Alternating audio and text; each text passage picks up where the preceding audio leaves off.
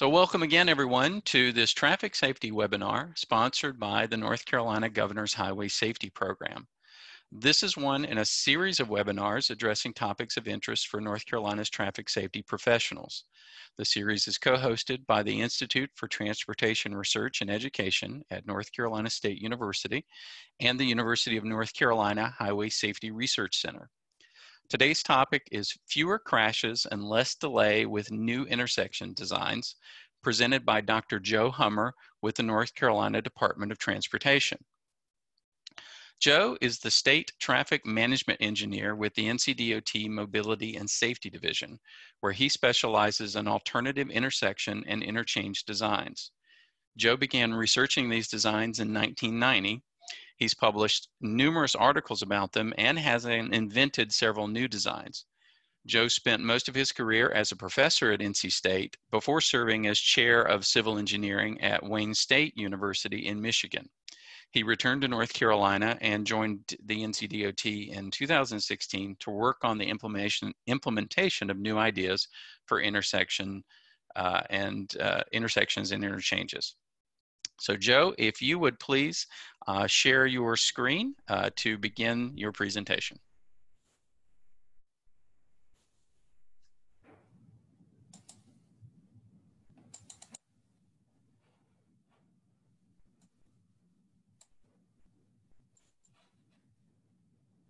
Okay, Eugene, uh, I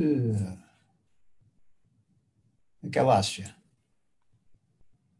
We see your screen, Joe.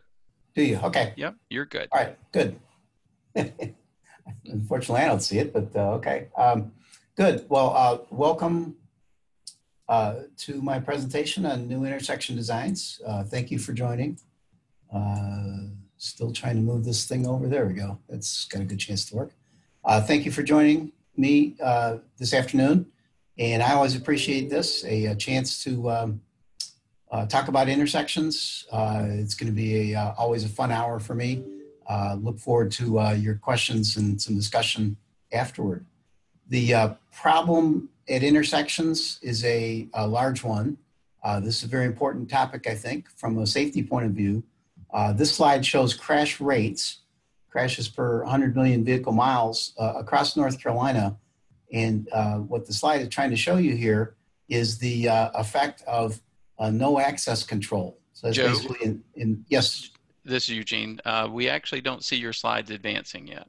Oh, yep. I thought something was. There you go. Going on there. Oh, they're back. Okay. All right. You, you got them now? Yes. Okay. There you go. That looks good. Right. They needed to be on that slide, uh, that screen. Okay. That's good. Um, so uh, intersections matter. These are crash rates per 100 million vehicle miles. And in the middle of the slide, you can see four lane or more divided with no access control, uh, 319 uh, crashes per 100 million vehicle miles. And compare that to the uh, facilities on, on either side in the slide, interstates with uh, less than a third of that crash rate. And then down at the bottom of the slide, uh, roads with uh, partial access control or full access control. And by the time we get back to full access control, again, less than one third of the crash rate. Access control means no intersections. Intersections matter. Uh, roughly on this slide, you can see they matter by about, by about a factor of three in the, uh, in the crash rate. Here's another slide that's trying to, to bring that home. In uh, these are 2018 data from North Carolina statewide uh, 138,000 crashes at intersections, which is more than the uh, crashes reported at non-intersection locations.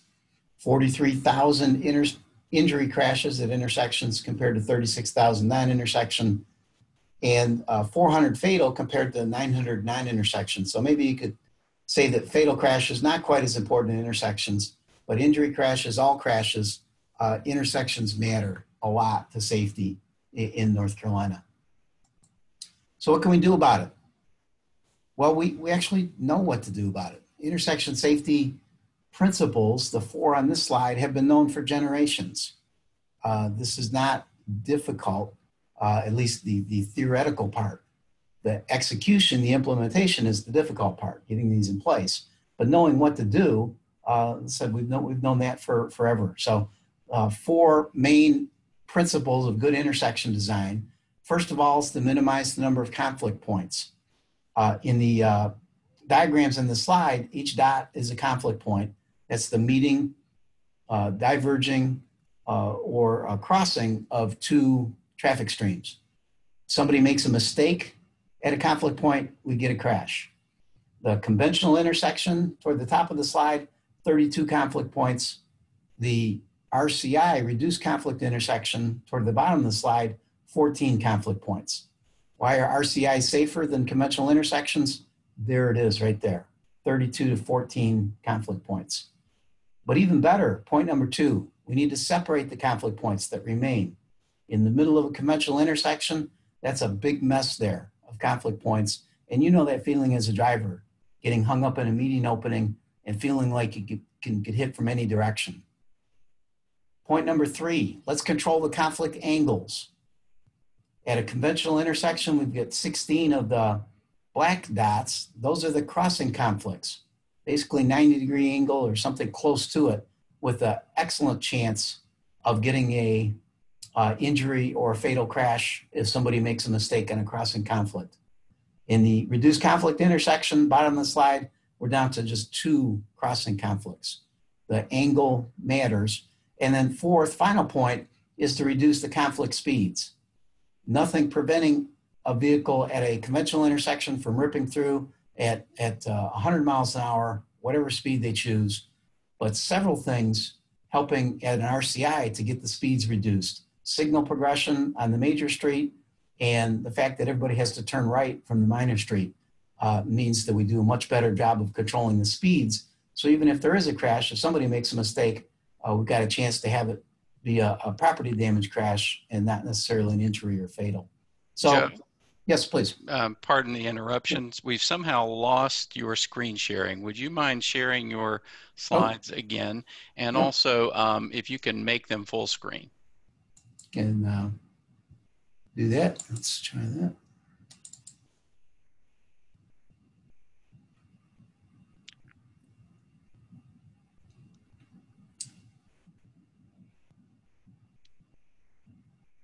I'm getting a message coming up that says it wants me to restart Zoom. Okay, we do see your slides now. Okay. All right. Uh, full screen, I'm not sure how to do that actually. Um,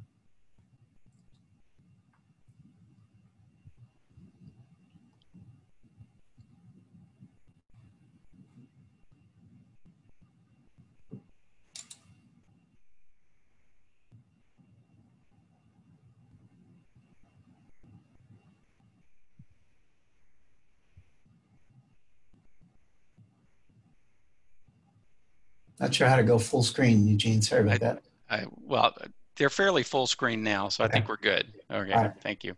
Okay, yeah, keep me apprised. That was, I knew something wasn't quite right before. it was asking me to reload. That's never a good thing. Um, how about now? You got the next slide, okay?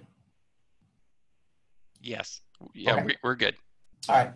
So uh, four, four principles of, of good intersection design. Let's create safe intersections if we follow those out, we know what the safest intersection design is. The safest intersection is an all-way stop. We wish we could put all-way stops at, at every intersection out there. Wouldn't be having this lecture, wouldn't be taking up your time. We could all go on to other things. All-way stop control is, is simply the uh, safest design intersection design out there. Wish we could put it everywhere. I'm going to quantify that uh, during this talk in terms of CMF. That's a crash modification factor, and that's the ratio of after crashes to before crashes when we put in some kind of uh, countermeasure. So this, uh, for an all-way stop, you can see on the slide, or maybe you can't, I hope you can, uh, a, a, CMF of 0.4, and that basically means a 60% crash reduction, in this case compared to having a conventional signal there. And a 0.38 CMF which means 62% crash reduction for injury crashes compared to a conventional signal. All-way stops are wonderful. They're also cheap. And the main thing that they do, the main, the main kick that they get is because of the speed control, the fact that most vehicles do stop uh, when they're presented with a, uh stop sign. Wish we could put all, uh, all-way stops everywhere that would solve all of our safety problems at intersections, but there's a problem. And the problem is that all-way stops have a, have a low capacity. They only really fit at uh, picture, like junctions pictured in the slide, uh, two two lane roadways, low volume, uh, that is a serious limitation. So, okay, we should put all-way stops everywhere we can. Uh, the world would be a better place. Joe, pause Please. one more second. We did have a suggestion uh, from a viewer. Control L may put you into full screen mode. For Hey, let's try that. Why not? try could happen? Control L? There you go. Thanks for that suggestion. Thank you. Uh, next safest, if we can't do all-way stop, maybe we can do a roundabout. So here's a picture of a one lane roundabout outside the NC State campus. Uh, a really terrific device. We've got a lot of them out there, uh, over 400 across North Carolina, uh, 10,000 across the US, something like that. Uh, CMFs for uh, roundabout, 0.74 for all crashes, so that's okay. But the really good news is 0.45 for injury crashes. We put a roundabout instead of a conventional signal, we reduce 55% of the injury crashes, and, and that's superb. Let's do more of those. Roundabouts get their kick because they control the number of conflict points. We're really down to eight conflict points. They control the angles and they control the speeds. They do a lot of good work in a small space. The problem with roundabouts is they still have a low capacity. They, they're certainly higher capacity than all-way stop, but the roundabout guide from NCHRP says basically uh, total entering demand for a roundabout uh, tops out at about 25,000 vehicles per day. Go up to a two lane roundabout, we're looking at 45,000 vehicles per day. That's good, but that's we've still got a lot of intersection space to cover that where roundabout is not feasible. So the search continues. And here now we're getting into the territory of, of really needing some alternatives. Lots of intersections out there, too big for an all-way stop, too big for a roundabout. Still want to have as many of those intersection principles in place to get good safety result. And that's where we come in with alternative designs. Uh, we need other alternatives. Lots of safety features. Yep, we do need higher capacity at a lot of places. And we need some other things too. If we have multiple signals along the roads, we like good progression through those signals.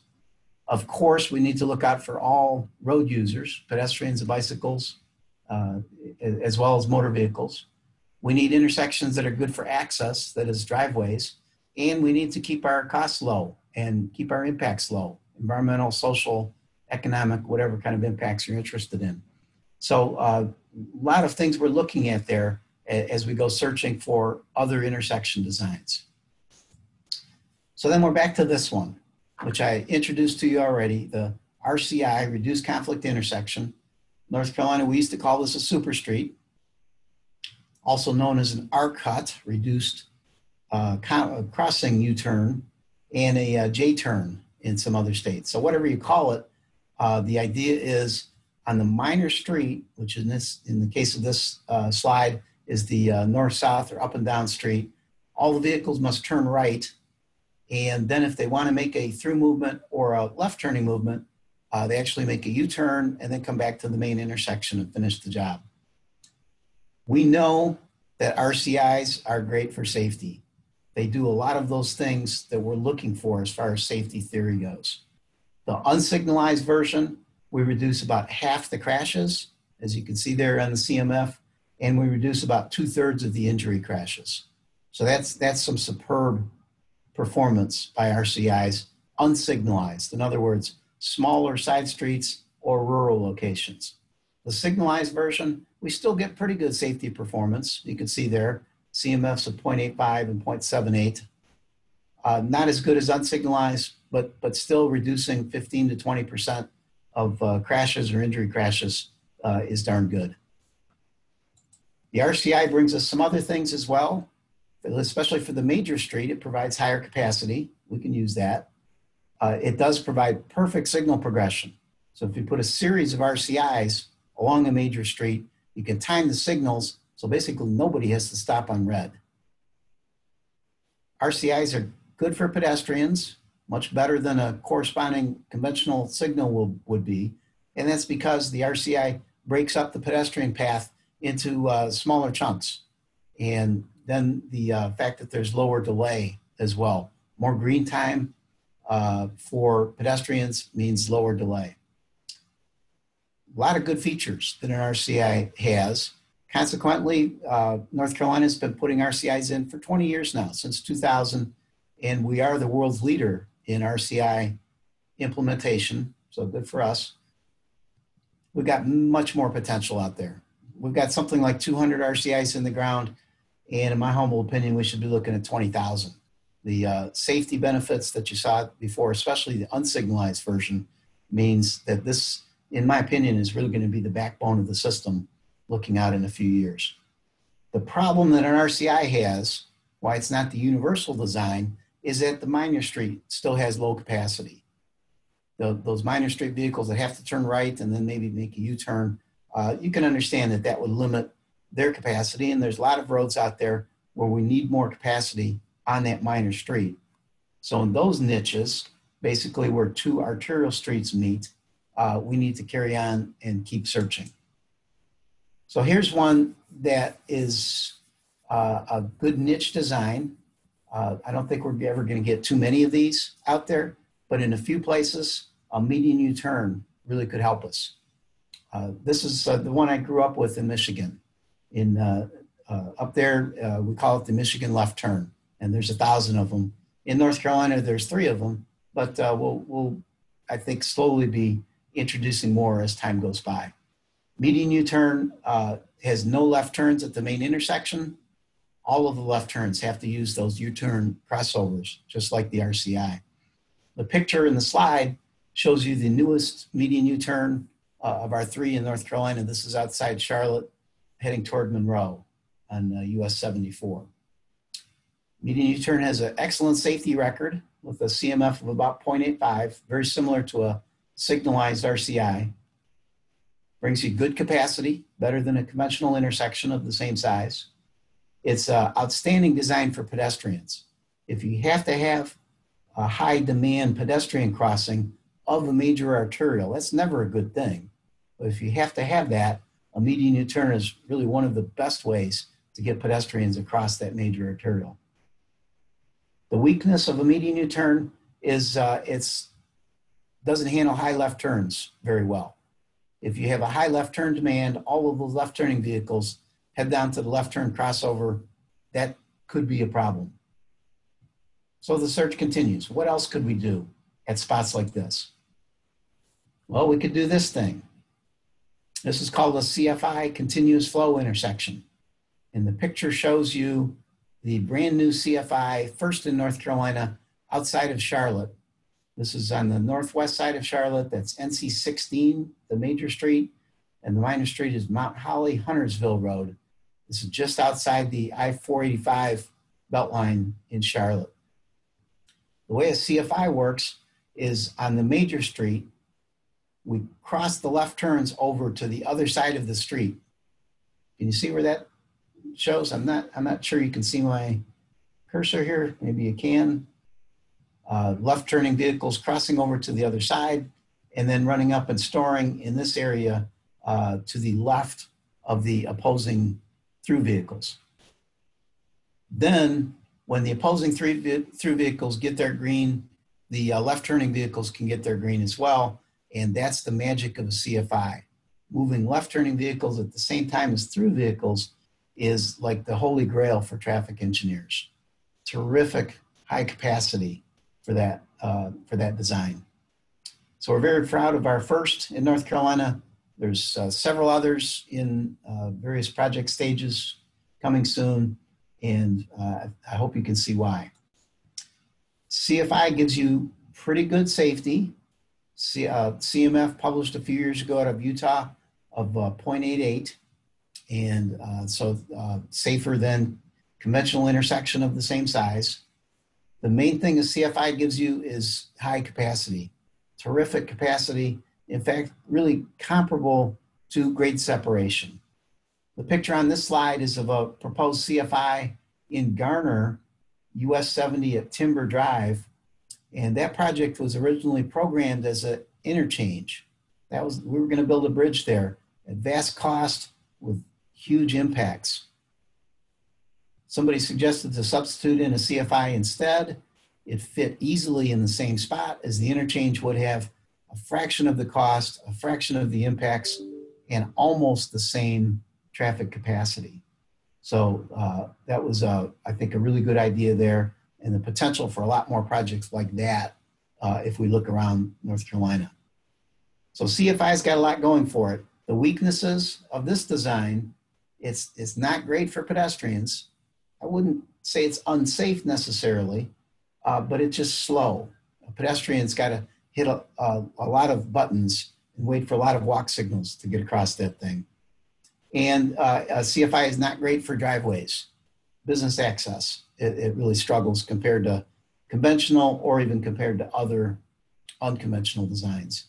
So not perfect. We're, I think we're going to build more CFIs, but we got to find the right niche for them. Another contender is this thing, a quadrant roadway intersection, QRI. Uh, the picture shows the one and only QRI in North Carolina. It's been in place since 2012. And the idea here is we prohibit some of the left turns at the main intersection and route that left turning traffic onto that connector road. That has good capacity benefits.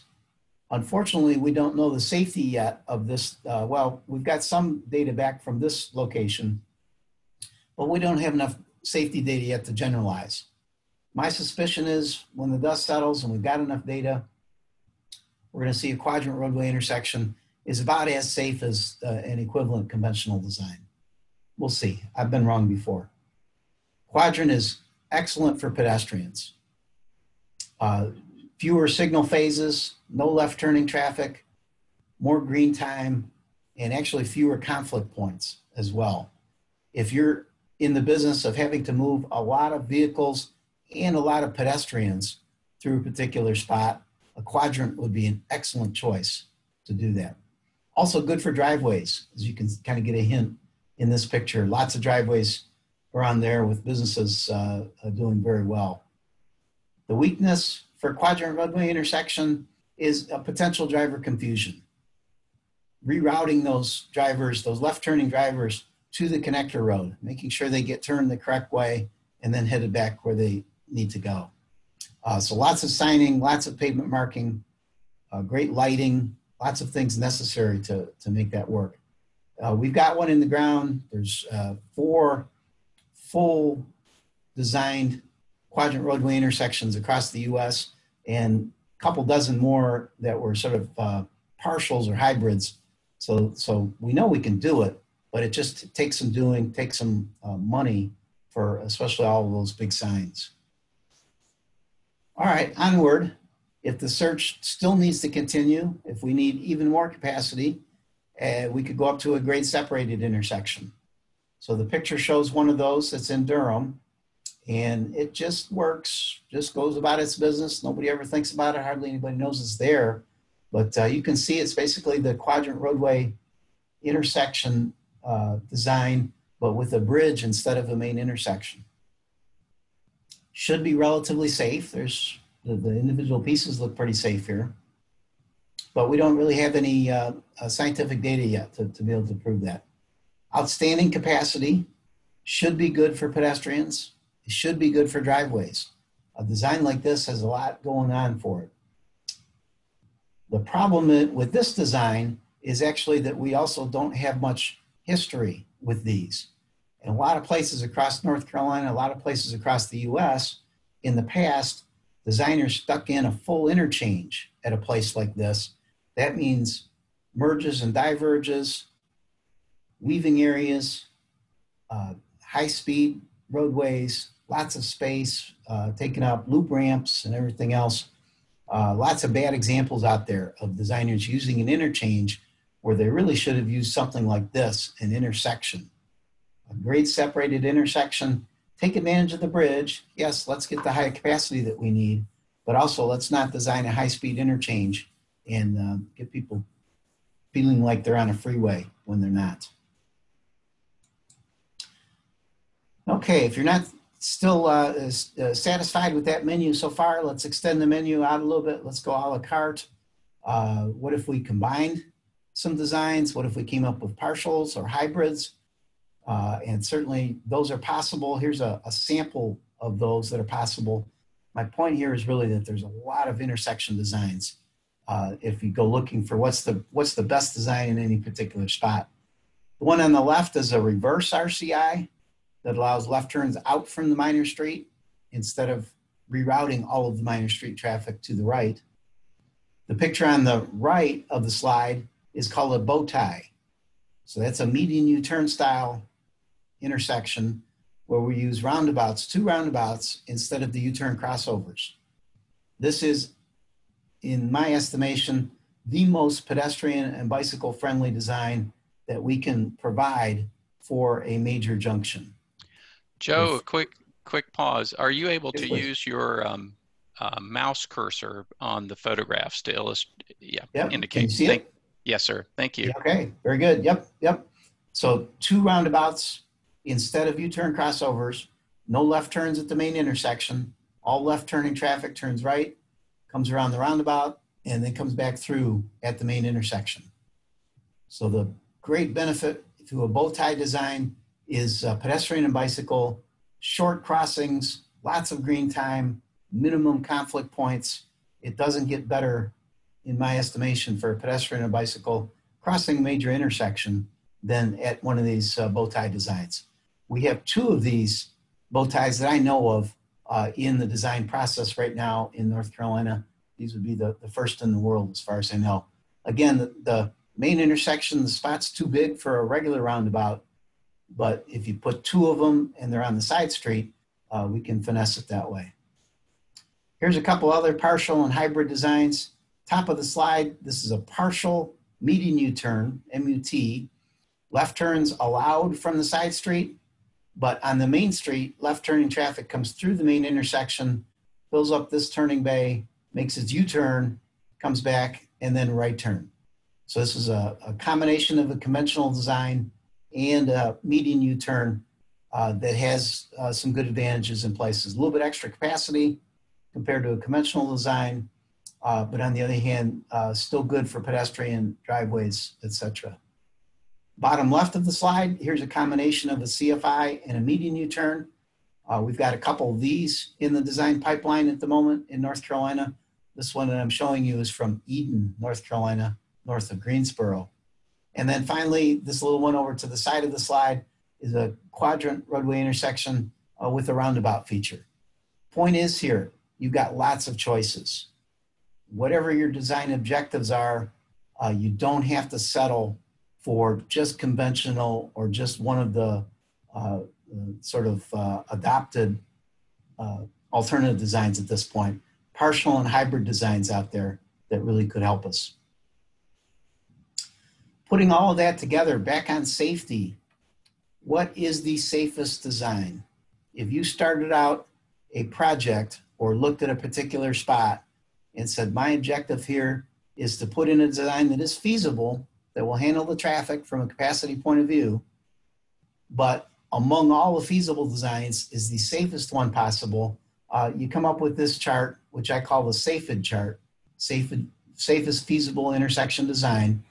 My paper on this chart was just published in ITE Journal, came out. Uh, I got it in the mail on Saturday at my house. Uh, so hopefully pick that up and, and take a look at that. Again, what is the safest among the available intersection designs?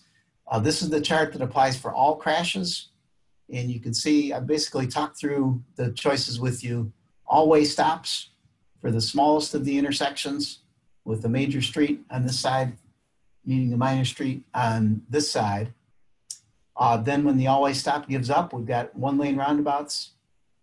And when they give up, we've got RCI, reduced conflict intersections, unsignalized version, then signalized version. And then at the very biggest intersections, the safest thing you can do is that median U-turn. And these are all based on uh, peer review published uh, CMFs. the accompanying chart that's in the paper, uh, and I'm also informed uh, or reminded, is also on our website in uh, congestion management uh, here at NCDOT, uh, that the uh, injury crashes gives you a very similar chart, except two lane roundabouts pop up in the middle of this chart as the safest design at a lot of combinations. And to me, the safest design should be the default. If you start a planning process, start a design process with anything but the safest design, uh, I've got to kind of question where you're coming from these days. Start with the safest as the default, and then there's lots of reasons that you can't uh, end up choosing the safest design, but at least the burden of proof should be on the proponent of the design that is not the safest according to the available science. Okay, and I think I just jumped that slide, but that's the, uh, the point that I was trying to make there. SAFED out of the chart, to me, should be the default design that we start with. All right, uh, last point that I've really got to make here is uh, public acceptance. At, at this point in our uh, research and development process, alternative intersections, like I said, NCDOT has been doing them for 20 years. The profession as a whole for 30 or 40 years, but we haven't sold the public yet. We haven't sold the politicians. We haven't sold the media. Here's a couple of comments just from the last few months that I've received. Uh, a town manager uh, told his board uh, about a, a, RCI project. Based on what we've seen, it just doesn't seem friendly to our business community. Thank you very much. Here's a comment from an auto parts retailer. Uh, if it would be ideal if NCDOT just leave our access points unchanged and focus on adding traffic lanes. Uh, the public thinks all of our traffic problems are solved with widening or with signal installation. The public has no idea that there's these set of other designs that move traffic better and move traffic safer. This is our main hurdle these days uh, as, as a DOT, getting past the uh, public resistance and the political and the media resistance as well. So here's our strategies to, to deal with that, to try to get the safest design in place. Uh, first of all, we try to be opportunistic. Don't miss a chance. If we've got a chance to get in a roundabout somewhere, we got a chance to get in an unsignalized RCI, fantastic. Let's not miss that. Second, let's do investigate the, the widest range of alternatives. Maybe, maybe we can find one that most people are not happy with, at least they can live with. Uh, third, we do need good research, safety research, capacity research, research on environmental impacts, research on pedestrian and bicycle movements. Science, especially in North Carolina, I think science still matters and tends to win arguments. Fourth, we need to educate our fellow professionals, and that's why I'm here today doing this with you. And fifth, we need good public relations. Our communication staff at NCDOT is terrific. We need more of that. Videos, animations, good, good slideshows, uh, uh, whatever, whatever tools we have available to try to get the idea across. And then we need to be consistent. Business owners need to know we're not picking on them. Theirs is not the only auto parts store that's getting an RCI in front of it. Their competitor auto parts store down the street will begin an RCI sooner or later as well. All right, last two points there. We need to compromise when necessary, and then finally, we need to choose to do nothing if necessary. My analogy is in this business, we're playing poker, especially with our political uh, leaders. And a good poker player never reveals his or her hand until they have to. Luckily, in our hand as planners and designers, we have at least 21 different ways we can compromise. I like to think of these as the cards in my hand, and I play them when I need to to make a compromise, to get a project in place when I'm meeting tough resistance, uh, to try not to have to go to the do nothing alternative. So uh, it's not meant to um, be read here. I'm running out of time, but uh, 21 different ways that we can soften up. Now, any one of these, these are for RCI projects, any one of these means you get a lesser RCI project than the peer one, and we're probably giving up some measure of safety when we make a compromise. But I'm going to maintain almost always we're still better compromising and getting the project built than if we have to go to the do nothing and just give up. But a word on that. If we have to choose do nothing, let's let's do that. Let's not build a crappy project. Let's not throw our money away on another conventional intersection that's going to cause way too many crashes, injuries, and, and fatalities. There's cases out there I know of, I've been around long enough, where NCDOT has had the courage to do nothing, take its money and spend it somewhere else. And you know what? Those politicians will be back in a few years asking us again, can we do something for that problem intersection? The problem's not going to go away, but our money can go somewhere else until they're ready to see that we've got a safer design for them. So this takes courage. Our leadership is willing to do this. Uh, it's a tough thing to choose, but they can do it if they need to. And, and uh, we should do that. A word on automated vehicles. In my opinion, they're coming soon. Soon, I mean within a couple decades. Right now, we're designing for the year 2045. And certainly by the year 2045, I think there'll be uh, some high percentage of automated vehicles among our fleet, especially in our urban areas, Raleigh and Charlotte uh, leading the pack. Who knows, 30%, 50%, 70%, I don't know, but certainly bigger than zero. Luckily, as far as I can tell, the designs that I've shown here, you here today will also work well with automated vehicles. The traffic fundamentals are still in place. Reducing conflict points works well for human drivers and seems to work well for machine drivers. And then the really good news about automated vehicles is they let us do more things like this. This is called a dynamic left turn intersection. And we're testing this right now in Cary, outside of Raleigh. I don't know if uh, you can see very well on the slide, but on, it's a dual left turn lane. During peak times, we show them that they can use both left turn lanes.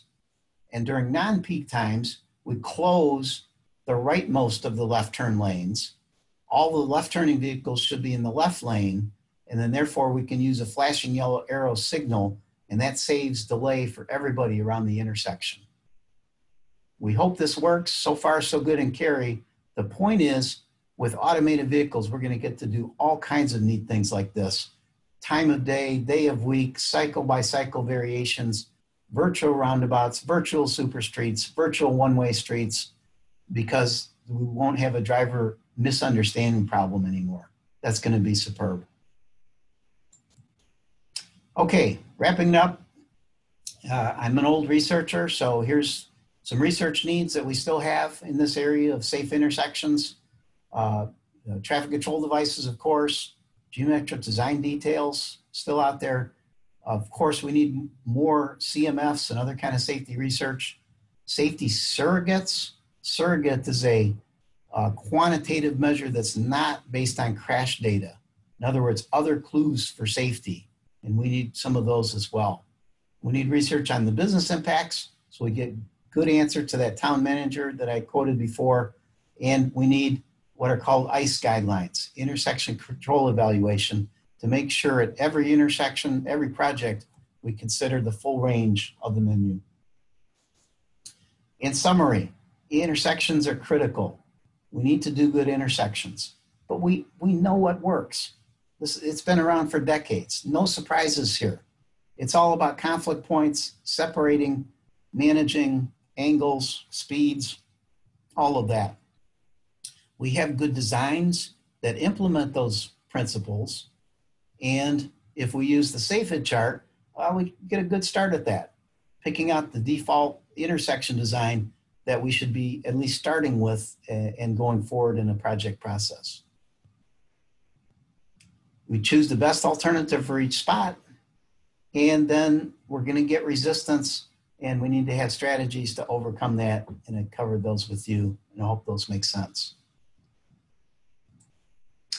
So thank you. Uh, this is a picture of my grandson, two-year-old. Uh, I watch him play, and I see he he knows how to cure traffic jams probably better than I do at this point. So let's go learn from the two-year-olds out there. Uh, let's go fix some traffic jams and uh, uh, let's create some safe and efficient intersections. I love talking intersections. There's my phone number. There's my email. Uh, after this is over, anytime, call me, email me. Uh, let's talk some more intersections. Let's go fix some traffic jams. Thanks a lot. I'm gonna try to go find the uh, Q&A pod at this point. Thank you, Joe. Yeah, if you'll open up the Q&A pod, we do have a few questions in the queue. Um, the um, a few questions have risen to the top, uh, and several of them related to pedestrians. So I think that's a um, you might want to spend a moment addressing that. Um, a few, uh, um, I think the better, the, the best question is rather the second question is what criteria do you look at when determining a particular intersection is good for pedestrians. Uh, there's oh, some comments about um, the complex, I guess the complexity of crossing multiple streets or multiple streets. Um, how is that really good for pedestrians? So, so what what do you look at when you're uh, determining if a design is good for pedestrians? Yeah, that's terrific. Thank you for that that question. Uh, actually, giving a webinar tomorrow on that topic. Uh, the uh, idea is it, the webinar tomorrow is uh, for NCDOT only, but we'll be rolling it out to uh, uh, others outside NCDOT in the coming weeks and months. Uh, the answer is uh, new research out from NCHRP project 7-25. Uh, I was lucky enough to be on the panel to guide that research. and the research was trying to do exactly what the questioners are talking about, measures to judge the quality of, of pedestrian and bicycle experience at any intersection. What they came up with is a measure, uh, a method that's called the 20 flags method, uh, basically looking at 20 different aspects of the pedestrian or bicycle crossing experience. It's uh, hopefully everything you can think of that's important to a pedestrian or bicyclist. Uh, crossing time, crossing distance, is there a grade change? Uh, how many stages to the crossing? Are there left turn vehicles? Are there right turn vehicles? Uh, is, are there um, unmarked crossings, uh, etc. I think I named six of the 20, uh, but uh, it's really all the aspects there. Uh, you look at that for each crosswalk, you look at that for each bicycle movement, total up the numbers, and in the end, and by now, over several months or several years that I've been on the research panel, looked at a lot of different intersections. Yep, the alternatives are the better ones because they shorten the crossing distances for each stage they reduce the number of conflict points for each, each um, not for each stage, overall number of conflict points. Uh, and many of them reduce the distances and so on. Uh, we've got to get out of this mindset that says conventional intersection is the best for pedestrians. It's the most common for pedestrians, but it's really, especially at these big intersections like I was presenting, uh, pedestrian or bicycle crossing one of those big intersections with a conventional is really a pretty horrible experience we can do better, and most of the alternatives uh, do better in terms of uh, all of those dimensions. Joe, thank you. Um, next question, um, and this came up early in your presentation. Um, are you proposing that all-way stops at all low volume intersections uh, to reduce crashes, uh, for example, residential neighborhood streets? Yeah, thank you for that, that question. Uh, uh, no, I'm certainly not. There's, there's probably a level of low demand uh, at which the all-way stop doesn't make any sense anymore. But what I can tell you is I don't know what that the research has found that level yet. Uh, it, it, it prob- probably exists. There's some some level at which the motorists really don't obey that all-way stop anymore. Uh, but at uh, a a lower level of demand, but not the lowest level, the research is very clear that all-way stop is the safest intersection design we have out there. So um, I, I, would be, uh, and this is just Joe talking, not NCDOT, not any particular city, but uh, uh, if you put me in charge, I'd be uh, putting a lot more all-way stops out there because the safety record is just superb. You point, 0.4 CMF, reducing 60% of your crashes for a countermeasure that costs $400 is is off the charts benefit cost, and I just don't understand why we don't more, do more of it. Other than again the, the bad publicity, it's got a bad it's got a bad name out there. It's been abused out there. People, uh, especially politicians, want all-way stops at the end of their driveways. But if we stay short of abusing the device and put it in places where we have two relatively low demand streets meeting, we can do a lot of good out there very cheaply. Thank you, Joe. Um, another question that came up um, early or in your um, uh, presentation was talking about multi-lane roundabouts. Um, the question is how much additional capacity for multi-lane roundabout? Um, hopefully uh, you still understand the context of that question. Sure do. Yep, yep. Thank you. Um, so, so single lane roundabout tops out at about 25,000 vehicle per day total entering vehicles, and two lane roundabout tops out at 45,000 vehicle per day. Again, adding up all the entering vehicles. Uh, North Carolina, and as far as I know, nowhere else around the U.S. has had any success with anything more than two lane roundabouts. Uh, in fact, back in Michigan, where I worked for some years and where I'm from, they tried some three lane roundabouts and they were pretty disastrous. So uh, most engineers I know, we're gonna we're gonna top off at uh, two lane. So 45,000 is the key number. Look out there in, in your design year uh, for a total entering volume of 45,000 or less to get in a two lane roundabout, 25,000 vehicle per day or less to get in a single lane roundabout. Thank you, Joe. Um, a comment earlier uh, talking about left on red being legalized. Um, uh, attendee said signalized RCUTs and MUTs could work better in North Carolina. Any thoughts on legalizing left turn on red? Uh, that we should have done it 40 years ago. Yes, absolutely correct. Uh, and that's, let, us separate these. Uh, what I'm talking about here, and I think what the commenters were talking about, was a left on red at the end of a U-turn crossover. Uh, left on red has got resistance in the legislature because of people thinking about downtown, the meeting of two one-way streets, and that's not at all what I'm thinking about. So uh, our, uh, I don't know if we've gone to the legislature yet with this, or we've tried to draft legislation about this to somehow separate those two cases. And the, the one that, that the commenter is absolutely correct with uh, the left turn on red at the end of the U-turn crossover where there's no pedestrians involved at that place. And, and the real, real objection is blind pedestrians. There's certainly no blind pedestrians uh, uh, crossing at the end of the U-turn crossover. So yes, we need to get that through the legislature. Uh, there's no reason not to, except that we haven't just found the right words yet to, to articulate that correctly. But when we do find the right words, let's get it through the legislature and that will make a, a very nice difference to our RCIs and MUTs. Very good. Very good. Next question. Um, Joe, um, the writer says, at the beginning of your discussion, um, I think you mentioned the basis of all crash data was on four lane roads. How does this compare to two lane roads, especially in urban settings? Uh, do you have a comparison between four lane standard intersection and two lane reallocation with bike lanes and roundabouts? or a road with this design but the same ADT? And how would that compare not only with traffic flow but also with safety? Right. If I if I uh, understand the the question, it's uh, really we're talking about a, a, road diet, a reallocation to, to try to go from a four lane roadway to a, a two lane roadway, and uh, that's that's yet another topic, and I really don't know the research of that. Uh, uh, all, all, that well.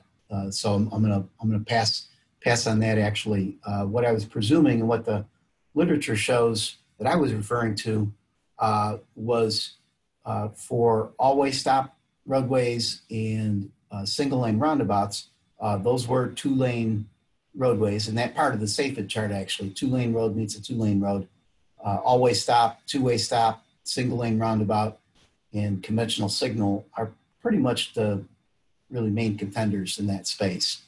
Uh, and then when we get up to larger intersections, four lane meets two lane, four lane meets four lane, I understand where the questioner says, well, maybe there's another possibility there, taking a four lane road and making it into a two lane road. Uh, granted, that's that's possible, but uh, uh, that that's a, a, more complex issue. A lot of moving parts there, and uh, you know, I am really not prepared with that, um, knowing about the safety research of that uh, at this at this point. Okay, thank you, Joe. Um, so the question um, came up when you were discussing automated vehicles. How does an automated vehicle understand a dual left turn with one lane shut down versus using both lanes? Yeah, excellent. Thank you. Um, and the automated vehicle will be able to sense those kind of things from uh, several different several different ways. Uh, first of all, it could be uh, pre-programmed, essentially already mapped in that it, you know, if I'm uh, an automated vehicle coming through this intersection at uh, uh, 2 p.m., a non-peak time, that the rightmost left turn lane is usually closed at this time. That could, could already be in the algorithm. Uh, then the automated vehicle will also have a set of sensors that will look up at the traffic control device and uh, see that the red X is being displayed. And uh, the automated vehicle will probably be getting uh, communications uh, from us in a so-called uh, V to I, or in this case, I to V, the infrastructure sending a message to the vehicle that says, hey, the left, left most, the right most of the left turn lanes is closed ahead. So uh, sensing technology, communication technology, uh, pre, pre-programmed uh, in the map, and there's probably more ways than that, but uh, most automated vehicle um, uh, technology that I know of will, will be getting these messages uh, several different ways. Joe, thank you. Let's see if we can squeeze in our last question here. Uh, could the dynamic left turn be used for left lanes off the main line at the U-turn locations on an RCI? Uh, we've got some locations with the dual lefts for the U-turns and the volumes aren't always high enough to utilize both turn lanes. Uh, yeah, hey Janet, uh, I, I can see that. I, I think that uh, could, could have some potential um, where we, you know, sort of I don't know about automatically, but but our, our reflex is to build in two lane crossovers these days, and, and, and that's fine. But instead of uh, striping out one, uh, and then sometimes awkwardly we, we need it, maybe we could do that electronically and just close one when we don't need it for that those portions of the day. So uh, I, I, I can see that. Uh, there'd be a matter of uh, designing the uh, traffic control devices. You know, where exactly do we put the red X's are, are, the red X's enough? Do we need other devices? So, so we have to put some, some thought into that, what the devices look like, what the messages are. But um, I, I, see where you're coming from. It's, it's got some, uh, I think that's got some potential. The, the one uh, implication there too uh, is that once we've got the uh, single lane operation in place, we could go to flashing yellow arrow or uh, back to the uh, questioner uh, a little bit ago, if we had left turn on red that was legal in this state, then the vehicles could make the left turn on red out of a single lane where they probably couldn't do that out of a dual lane. So that, those would be the advantages there. Yeah, very good. Okay, we'll do one more. Um, squeeze this last one in here. Uh, is there a place for multi-lane all-way stops, perhaps coupled with auxiliary through lanes on roads where capacity of all-way stop wouldn't be enough with single lane? Yeah, good, good question, David. Um, I was in California a few years ago, uh, Irvine, Mission Viejo area, uh, driving around looking at the scenery a little bit. Actually, me looking at the scenery and looking at the roadways. And it's crazy out there. They've got these huge multi-way stop intersections, uh, five, five lane cross sections, basically, meeting two five lane cross sections controlled by a multi-way stop. Uh, somehow it works for them, crazy Californians uh, I don't know. It, it didn't didn't look very healthy to me. I I need to see the research, California or wherever else they've they've actually tried that, got some in place, and let's take a look at what the CMFs look like and what the driver understanding and what what the compliance is uh, with those conditions. I'm a little suspicious that that based on what I saw out there, that that looked like a lot of intersection to control just an all-way stop. All right, Joe, thank you very much. Um, and thanks for the great questions, everyone. Um, fortunately, we're running out of time here um, to, um, but uh, look, we did get to all the questions in the queue or nearly all of them. So I want to thank uh, Joe again for your presentation. I want to thank everyone uh, to joined us today. Before you actually uh, exit out of the webinar, if you would not mind using the Q&A window, if you have any additional suggestions to help us improve the webinar series, including future topics um, you'd like to learn about. Uh, you can just open up the Q&A and uh, add that uh, there. Um, if uh, we were unable to get to your question during the webinar, um, we'll share those all the questions with Joe, and uh, we'll try to get a response to you offline. Uh, and definitely remember to watch your um, email um, we'll follow up with you uh, with a link to the recording in case you missed any part of the presentation. Uh, including in that email, uh, there will be also a link uh, to show you where to download Joe's slides if you'd like to have that information uh, for future reference. Uh, we put, put that link in the chat window, but it, the slides are posted online. We'll make sure you get that link as well. Um, uh, with regard to certificates, if you are a professional engineer participating in today's live webinar, uh, we're gonna, we got a certificate uh, for you if you need it, uh, awarding one PDH uh, approved for your continuing education requirements. Um, if you're not a PE, but you would also like to get a um, certificate um, for PDH credit, uh, just let us know uh, when we send you out the follow-up email. Just give us a reply back and say, yes, send me a certificate. Uh, we'll send you out a um, PDF version of that for you. Uh, we want to invite you to join us again for we for some other traffic safety webinars. We've uh, also have a plan for this series.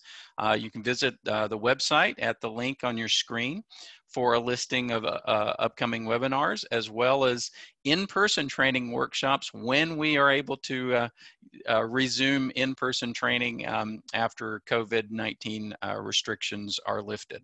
Uh, but right now we really appreciate you joining us for these webinars and we hope that they are valuable to you. Uh, at the website, you'll also find information about the next North Carolina Traffic Safety Conference and Expo, which will be coming up uh, in August of 2021. Uh, we hope you'll be able to attend the conference and we welcome you to propose any topics for conference presentation. Uh, at the website, you'll see a link that says presentation proposals. If you have an idea on a topic you'd be interested in, in presenting at the conference. So with that, uh, I want to thank you all again for participating in today's webinar and goodbye for now.